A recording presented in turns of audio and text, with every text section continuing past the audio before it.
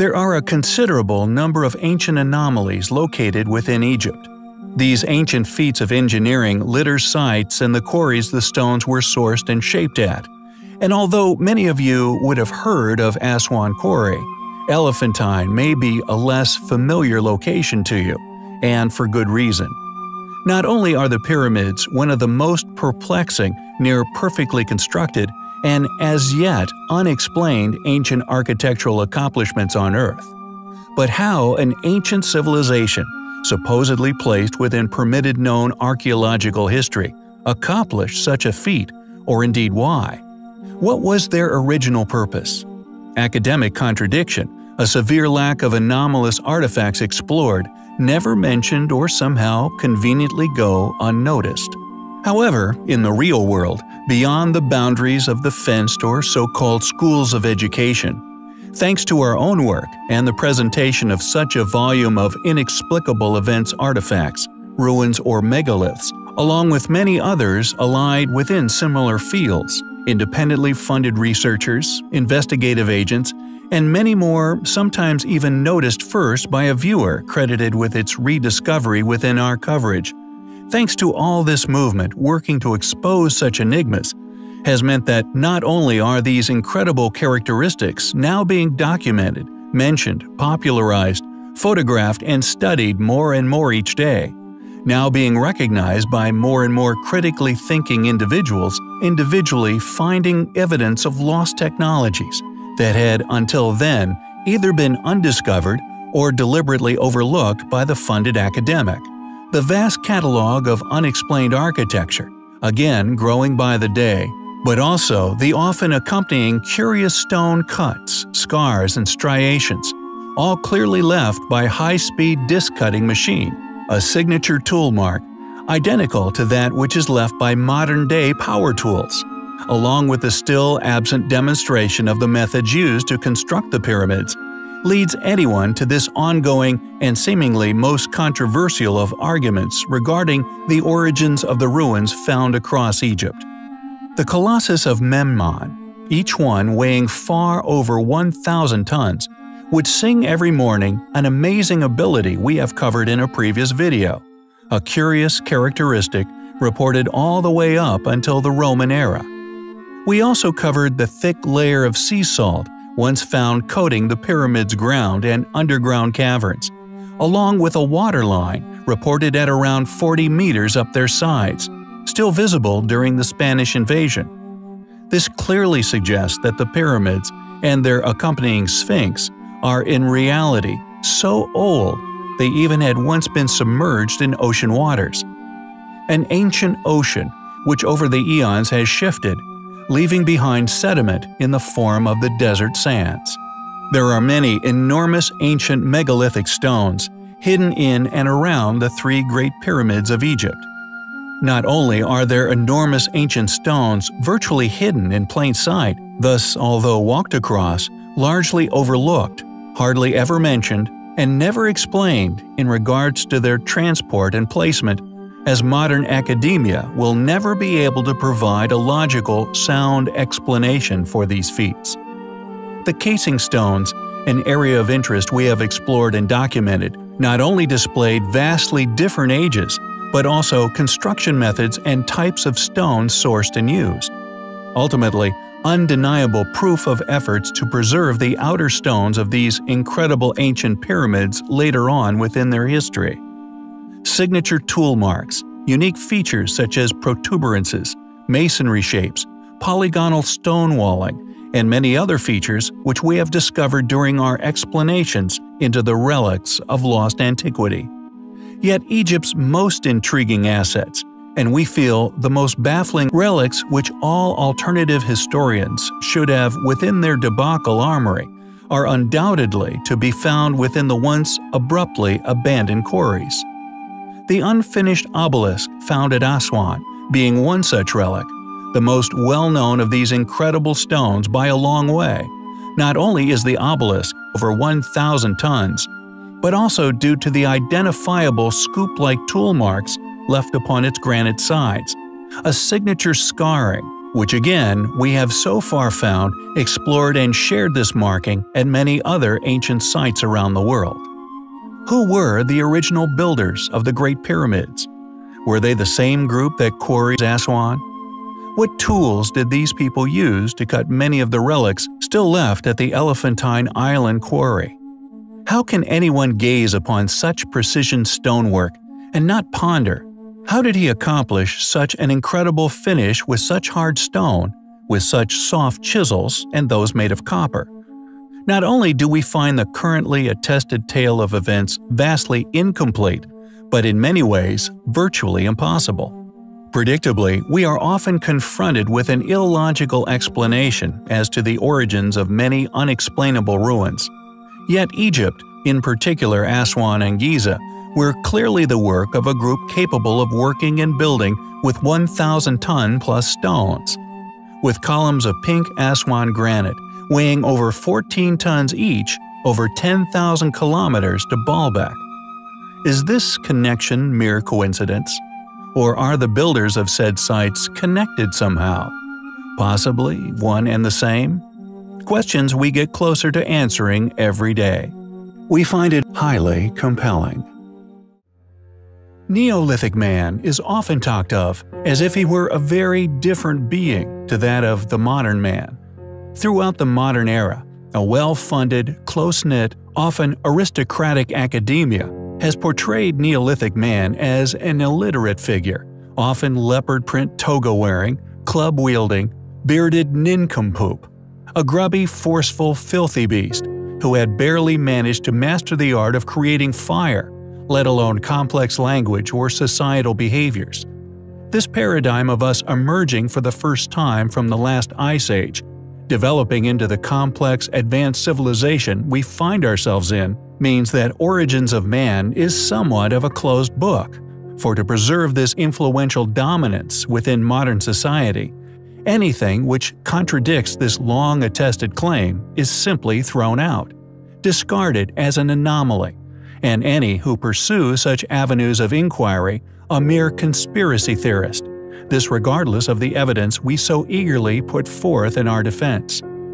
Countless still existing astonishing anomalies, unexplained, simply baffling feats of ancient engineering, so often covered here on our channel, either merely ignored or claimed as absent an explanation as to how the work of our well-studied more recent ancestors people who were simply incapable of completing such mammoth tasks. Many of these ancient ruins, claimed as more recent achievements, we feel, possess sufficient evidence to support far greater ages littering many said sites, clearly built using far more advanced precision technologies, and Neolithic sites are of no exception. We believe here on the channel that the size of many of these highly eroded prehistoric stone trilithons and indeed stones contained within many enormous dolmens, are also left by this ancient group. Dolmens made using similar, if not identical techniques throughout the world, from Scotland to Ireland to Japan, all of similar design and possessing inexplicable features, board entrances, multi-ton megaliths. It is as if this group still possessed the knowledge of how to lift and work such stones, but had lost the technologies used to carve with precision. It is as if they were a surviving remnant of a once more capable or more precisely better equipped civilization. How did this ancient people, academically claimed as never having had any contact, build such similar structures? Or perhaps, more importantly, and the feature which initially attracted us to Neolithic ruins, the size of their stonework, Megaliths often incorporated into their structures, forming trilithons or entrance tunnels with top slabs upon dolmens, sometimes up to 8 feet aloft, weighing well over 100 tons. Our discoveries at Newgrange and Donore in Meath, Ireland, with a slab tunnel entrance, like so many Neolithic granges and barrows, regardless of their immense size, once precisely aligned them with solstices, yet they remain mostly buried and thus most conveniently concealed. Some argue that the most impressive Neolithic dwellings can be found dotting the Japanese landscape. However, we feel The most archaeological interesting of Neolithic sites dot the United Kingdom, France, and some areas of the US, yet particularly Scotland and Ireland. Sites which have fragments of ancient symbols left within, celestial alignments, and a similar pattern decoration or possibly coded message which crop up over and over, especially one found all over the world of a strange enigmatic spiral. And although usually found sparsely decorating Neolithic sites, barrows, and internal earthworks, its reoccurrence so regularly must indicate it as once having been significant and important to them in some way. Yet, for some reason, Gavrinis is undoubtedly the most spectacular of them all. This little shared ruin displays this symbol significance in their carvings as seemingly fanatically overwhelming. Located in France, to have so many of these patterns clearly arranged in careful and concise manners by a people capable of aligning 100 plus ton rocks with pinpoint accuracy, we feel should be perceived as a very deliberate and important undertaking, perhaps in an attempt to convey a message to a future people. A people far removed from themselves, in terms of language. A fact they may have fully understood, having, as we believe, experienced global cataclysm within living memory.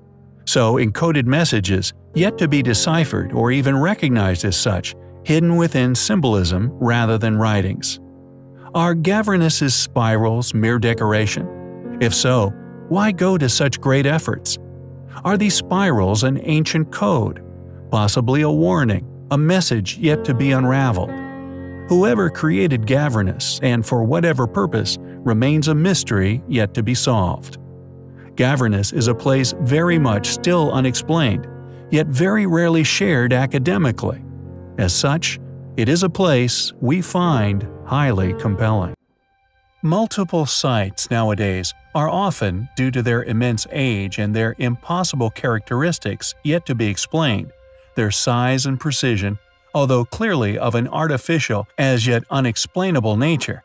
Alas, if it contradicts modern paradigm, is deliberately overlooked en masse, or when claimed as a permitted known world history group's work, is always absent methodological explanations as to how they achieve these feats. Academics controlled via financial and vocational security, ultimately becoming the arch enemy of a field that should be dynamic in nature, ever changing, expanding, and accurate. A pioneering pursuit into the mysteries of history and indeed ourselves, in regards to true historical fact. A career of submissive deceit, many presumably went into the field with good intentions, yet quickly learnt that they must toe the mainstream line if they were to survive, a theory that they all must know is fiction, they in unison defend and continue to push as conclusive fact. When the truth is, we have barely scratched the surface of the history of ourselves, or indeed the universe, the place we call home.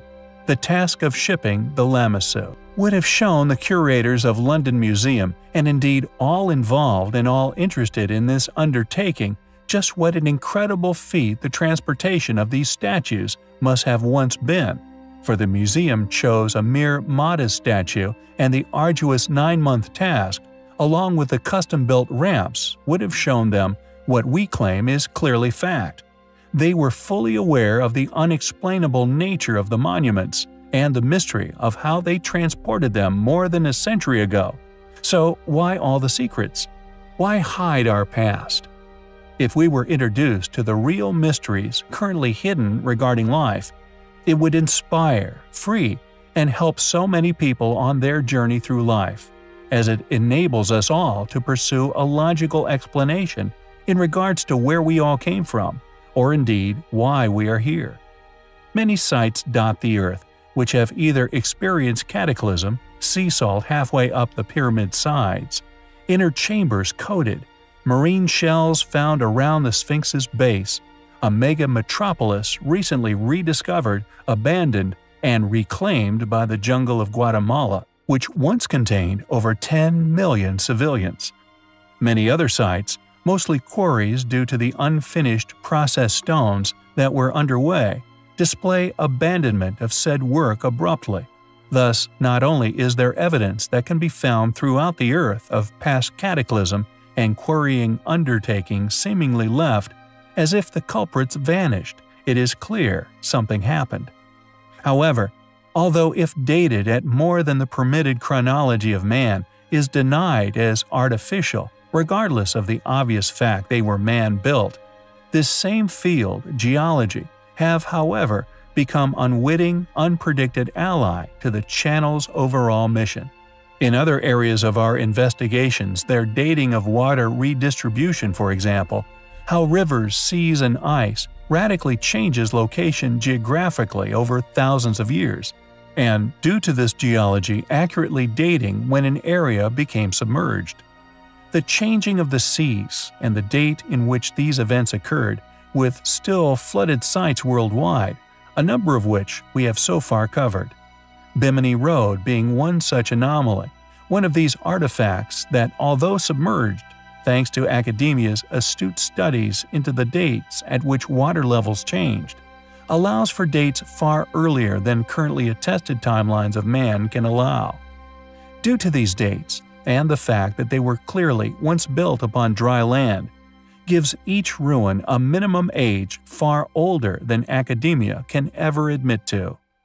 Floodings dated by these same geologists, who were crucially initially unaware of their existence, have dated many submerged ruins, including a number of pyramid complexes, at far over 10 to 20,000 years old, with some floodings dated as occurring sometimes upwards of hundreds of thousands of years ago. For many of these sites, due to them not having been re-inhabited and left to the elements since their original abandonment, are clearly intelligently created ruins with clear artificial origins, door cuts, right angles, even polygonal masonry, all denied as anything but geological by those who have even been there, yet again, due to Gornaya Shoria's immense size, sediment buildups, thus clearly prehistoric age, clearly proves any denial of artificial origin as an obvious conspiratorial lie. The fact that modern paradigm doesn't tell of any advanced civilization at this location within known history, thus no archaeological footprints left by a later people, relics which would have allowed academics to label said groups as undoubtedly the builders, and the undeniable evidence of prehistoric age, they must overlook such evidence. It must be overlooked or dismissed. The better at this you are, the more popular these institutions make you. If no civilization was ever recorded re-inhabiting an area at any time throughout permitted history, thus no archaeology, it is far too controversially old for academics to study, so the denial continues. Yet, ironically, the undeniable is the ultimate weapon, slain by their own proverbial sword. The strategy of deceit is always succeeded by the truth, for the truth is grounded, unchanging, immovable, and founded upon a solid foundation. When such an occasion arises, the mere introduction of logical honesty, due to it being the truth, is far too fitting and in reflection of our regular expose of the lies littering modern teachings of history. The truth sticks. It resonates. Once the truth is exposed, it never dies. It is immortalized and unchanging. All we have ever wanted is for our viewers to ask themselves the questions we painstakingly search for the answers to ourselves, and we have dedicated a number of years of extremely hard work in amassing such a vast collection of stories, evidence, and other aspects supporting our work, regardless of MSM's reluctancy to ever promote, popularize, or pursue such subjects within their studies, papers, journals, or articles those toeing the line of illogical dating and explanations for origins must deny the obvious artificial nature it's one or the other. We find all of these things highly compelling. The modern-day institution, man's way of organizing belief systems into their different clans, cult-like attitudes, often driven by an existential perception, specialisms of some form, or merely a naturally occurring passion. They are either built around a certain series of events or an apparent fact or claim, which stand as the cornerstones of said institution. It is therefore within the profiteers of said ideology's interests to not only suppress any evidence that may surface that would make their treasured institutions crumble to their very core foundation, but to actively destroy said relics whenever one gets an opportunity to do so.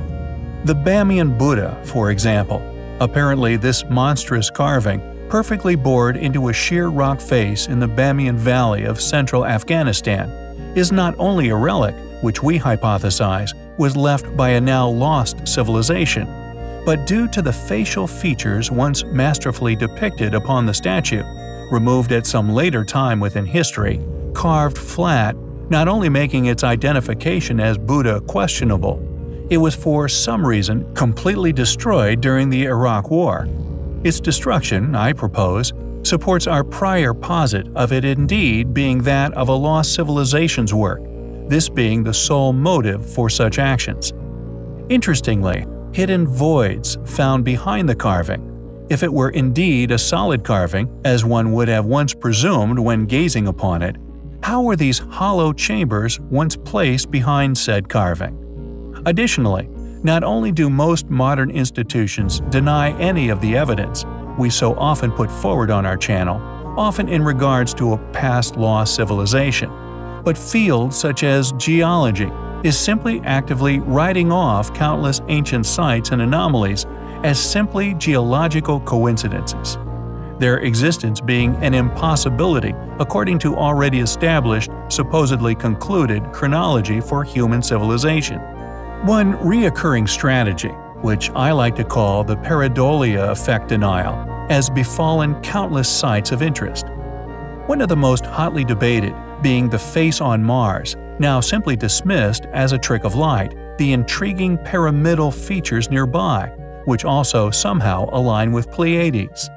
This denial strategy has condemned other said features here on Earth, some of which found in remote places that, according to modern academia, have simply never been inhabited. Thus, regardless of the artificial nature of such places as Gornaya Shoria, must be dismissed as mere coincidental geological features. The ruins clearly immense age, often used, in an unfortunate twist of fate, as support of such claims, as nature eventually reclaims all. Thus, the older the ruin, the easier this said denial strategy is to argue. That is, until now, in a modern era, where modern technology now allows us to collect a massive amount of information on simply anything unexplained features, ooparts, and many other advanced unexplained legacies of an antiquity, once hidden, now shared far and wide, evidence which flies in the face of modern paradigm. This Charonion is yet another of these curious, clearly immensely old anomalies that regardless of its form, once being carved from extremely tough rock, maybe this is why our lost ancestors built with such enormous stones and did so in an as yet unexplained yet clearly highly advanced way known as polygonal masonry. Perhaps they built like this so that their footprint here on our planet be long-lived, designed to deliberately be resistant to the elements, to reach us now in the modern day, giving all of us an opportunity to understand the real history of our Earth, regardless of what others would like. We find all of these things highly compelling. Osaka Castle is one of the most intriguing of all of Japan's forgotten wonders. A place we have covered in the past, it was, we believe, like so many other inexplicable sites around the world, re-inhabited by our most recent of ancestors, placed within an academically permitted timeline of events. A chronology that, if one wishes to succeed in the mainstream, must toe the line of. For if one goes against the grain and explores the site with a critical mind, one can clearly see it contains a number of surviving features, which not only displays lost knowledge, thus the work of a lost civilization, which at some point in the very distant past built ruins all around the globe, building countless polygonal ruins which have, due to their incredible construction technique, fortunately survived into the modern era. However, It is not just its polygonal foundations, which show clear evidence of these elusive and consistently denied lost ancestors. Octopus Rock, for example, also sometimes known as the Drum Stone, is the largest megalithic stone found within the walls within the castle's grounds. This giant stone, just like those of Baalbek, is enormous. Estimates for its weight range from 100 to 300 tons, although it could, of course, be far heavier. However, even at these conservative estimates, any explanation of how ancient man accomplished such feats remains elusive. For the fact remains, the stone is of an incredible size, and to this day its placement, along with many others found throughout the world, remains unexplained and unknown. So, for one to conclude that this stone's use, its quarrying, transporting, and placement within this wall, was done by our less capable, more primitive post-Ice Age ancestors, yet all these methods of building and lifting, the knowledge of how to do such tasks, somehow simply vanished through the ages. All of which now remaining a mystery even with computer technology. An explanation still evades us. Thus, to conclude this to be anything else than that of a relic, left by a far older, now lost civilization's work, we believe would be highly illogical, and should appear illogical to anyone with a capacity to dissect the purposes for these actions, taken by an academia claiming to hold all the answers. All the while, actively concealing or ignoring any conflicting controversial evidence, truths that, due to their belief in their power, laying within their reluctance to ever admit an incorrect hypothesis for the origins of species or the timeline of man. Thus, this doubling down on fallacy merely makes their persistence at sticking to said posits not only a damaging conspiracy, which robs us all of our heritage, but can also be perceived as an attempt to conceal anything which could alter the status quo. The Octopus Rock is an incredible feat of ancient engineering, and one, just like that of the polygonal masonry techniques that can be found at countless other sites the world over, is clearly a relic of a forgotten past, accomplished with the use of forgotten technology and knowledge. Just how big is Octopus Rock? How old is it, for that matter? And how did our ancient ancestors accomplish these feats?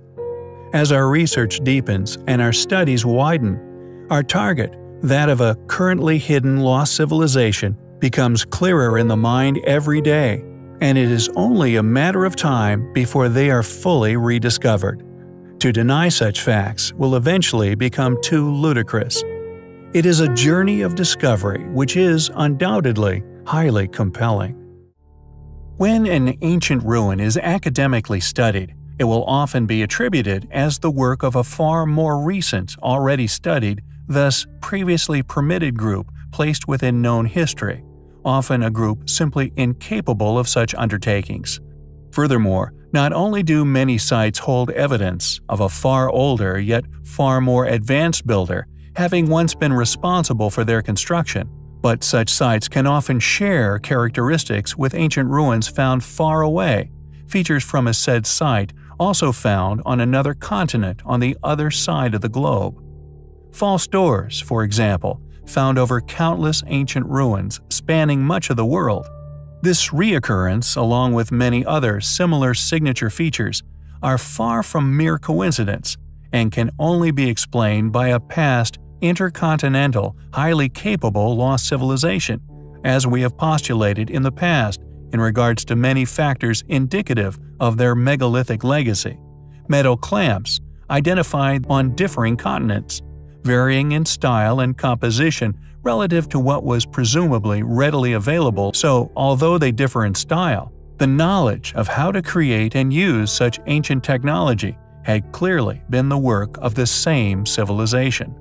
The pyramids of Güímar, for example, are six rectangular pyramids you would more than likely have never heard of, and most certainly would not have been taught of their existence by modern mainstream academia.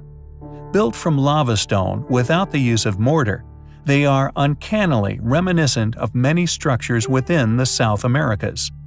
They are located in the districts of Chacona, part of the town of Güímar on the island of Tenerife in the Canary Islands, Spain. The structures have been attempted to be dismissed as nothing but 19th century buildings, argued as the byproduct of contemporary agricultural techniques. Yet their infamous shape and the signature building techniques incorporated into said structures are undeniably found elsewhere on Earth. Other pyramids employing the same methods and materials of construction can be found in various sites on Tenerife. In Güímar itself, there were nine pyramids, any yet regardless of academics attesting to them being no more than a century old.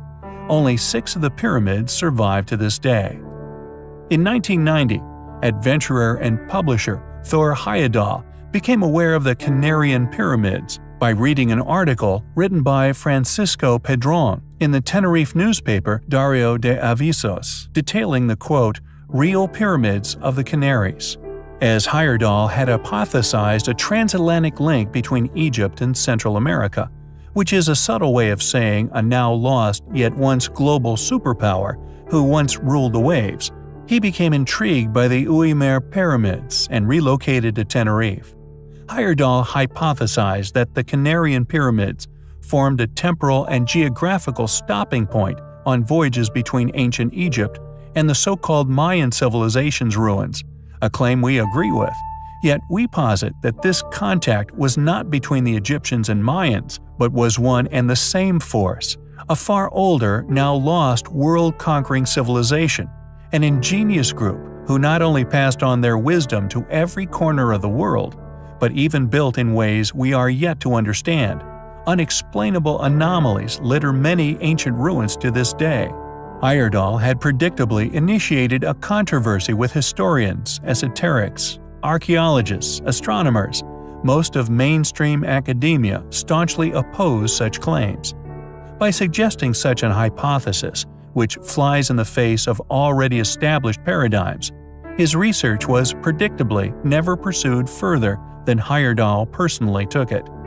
Yet I feel he succeeded in publishing a ruthlessly honest opinion in regards to the ruins, regardless of what was already apparently established as fact.